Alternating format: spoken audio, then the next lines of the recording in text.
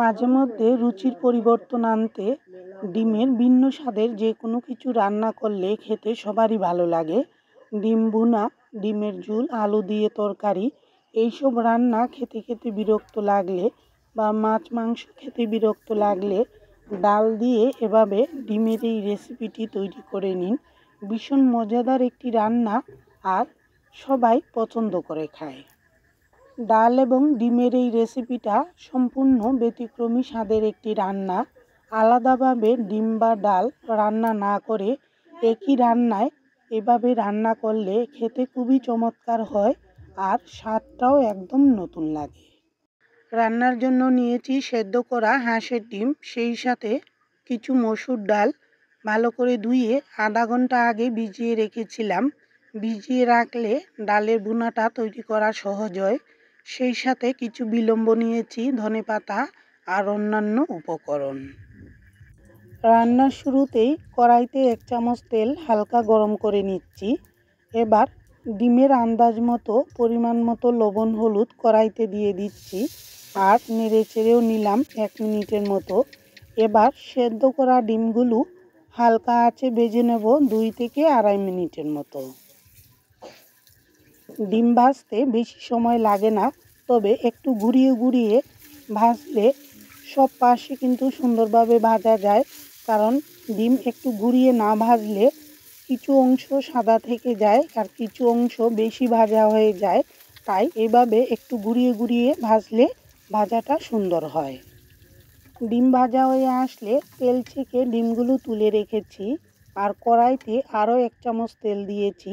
তেলের পরিমাণ নিজেদের পছন্দ বা রুচি অনুযায়ী দিলেই ভালো হয়। গরুয়া রান্নায় একটু কম তেল দিলেই কিন্তু খেতে ভালো লাগে। ডিম, ডাল এবং অন্যান্য উপকরণের আন্দাজ মতো, পরিমাণ মতো লবণ আগেই দিয়ে রাখলাম, তাহলে মশলা কষাতে সুবিধা হয়, তেল ছিটে বাইরে যায় না।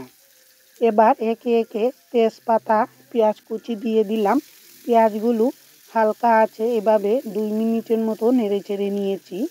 আর নেড়ে চেড়ে নেওয়ার পর এবার রসুন বাটা দিয়ে আবারও নেড়ে চেড়ে নিচ্ছি এক থেকে দেড় মিনিটের মতো। পেঁয়াজ ও রসুনের কাঁচা ভাব যাতে না থাকে, তাই অন্যান্য মশলা দেওয়ার আগেই তেলে পেঁয়াজ রসুনটা এভাবে আলাদা সময় নিয়ে কষিয়ে নিলে খেতে খুবই ভালো লাগে আর রান্নার স্বাদটাও কিন্তু পাল্টে যায়। এবার বাটা মশলার মধ্যে জিরা, ধনিয়া, শুকনো মরিচ বাটা দিয়ে দিলাম আর অল্প করে জল দিচ্ছি, তাহলে মশলাটা পুড়বে না। কষাতেও সুবিধা হবে। জল দিয়ে এবার ছোটো চামচের দুই চামচ হলুদ দিয়েছি, যেহেতু ডাল থাকবে সাথে, আর দুই চামচ চিনিও দিলাম। ডালে সামান্য চিনি দিলে খেতে খুবই ভালো লাগে। এবার আরও দুই মিনিটের মতো মশলাটা কষিয়ে নেব। যেহেতু ডালটা একটু বুনা বুনা রান্না হবে, তাই মশলাটা ভালো করে কষিয়ে তারপর ভিজিয়ে রাখা ডালগুলো দিয়ে দিলাম, জল ঝরিয়ে রাখা ডাল। এবার আবারও দুই মিনিটের মতো মশলার সাথে ডাল একটু ভেজে নেব।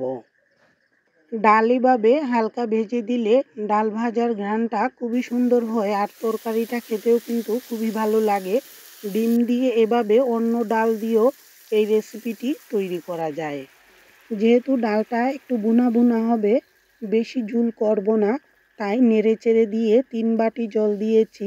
আর এবার মিডিয়াম আঁচে ঢেকে রাখছি। ডাল ভালো করে ফুটে আসা পর্যন্ত। তিন চার মিনিটের মতো ঢেকে রেখেছিলাম। আর এবার চুলার আঁচটা হালকা করে ঢাকনাটা সরিয়ে রেখেছি আর নেড়ে চেড়ে দেখে নিতে হবে ডাল ফুটেছে কি না ডালগুলো ভালো করে ফুটবে, তবে বেশি গলবে না।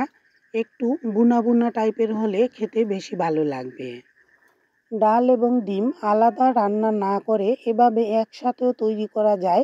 আর বাড়িতে টমেটো থাকলে বিলম্বর পরিবর্তে টমেটো দিয়েও তৈরি করতে পারেন। টমেটো ছিল না, তাই কিছু বিলম্ব দিয়েছি। এতে হালকা টক হবে আর খেতেও দারুণ লাগবে। এবার একে একে ভেজে রাখা ডিম, কয়েকটি বিলম্ব কেটে দিয়েছি আর কয়েকটি আস্তই দিলাম, তাহলে বেশি টকও বেরোবে না। আর যারা একটু টক খেতে পছন্দ করেন, পাতে ডলেও খেতে পারেন। অল্প কিছু ধনে পাতা এবং কাঁচামরিচগুলো চিড়ে রেখেছিলাম, সেগুলোও দিয়ে দিয়েছি। একই সাথে বাটা গরম মশলাও দিয়ে দিলাম।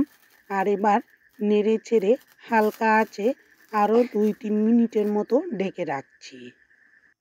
রান্না প্রায় শেষের দিকে এবার ঢাকনাটি তুলে নেড়ে চেড়ে দেখে নিতে হবে, ঝুল কতটুকু রাখতে হবে। ডালের ভুনা একটু মাখা মাখা হলেই খেতে ভালো লাগে। তবে এতটুকু ঝুল রেখেই রান্নাটা শেষ করছি। কারণ ডাল ঠান্ডা হলে কিন্তু অনেকটাই জমাট বেঁধে যায়, শুকিয়ে যায়। অনেকেই বেশি শুকনো খেতে পছন্দ করেন না। নিজেদের পছন্দ মতো ঝুলটা রেখে নামিয়ে নিতে হবে। মাঝে মধ্যে রুচি পাল্টাতে এভাবে ডিম, ডাল একসাথে তৈরি করলে খেতে কিন্তু মন্দ লাগে না। কেমন লাগল আজকের এই রেসিপি জানাতে ভুলবেন না। নতুন বন্ধুদের প্রতি অনুরোধ রইল। চ্যানেলটিকে সাবস্ক্রাইব করে রাখার। ধন্যবাদ সবাইকে।